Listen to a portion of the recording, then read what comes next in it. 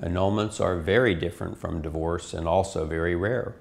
You are entitled to an annulment only when you entered into a divorce under unknowing circumstances or under some kind of duress. Think of going to Las Vegas, waking up in the morning and finding out that you were married at 5 a.m. in the morning and have no memory of it and never consummated the marriage. That's an annulment.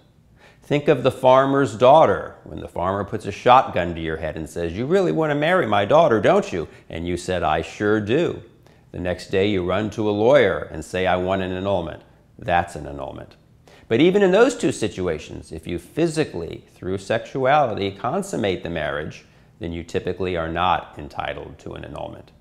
The only other example might be say you marry somebody and didn't understand at the time that they are not physically capable of consummating the marriage and never did consummate the marriage, then you might be entitled to an annulment weeks or even months later. But in general, almost everybody that comes into my office saying, I was deceived, I want an annulment, they're really only entitled to a divorce.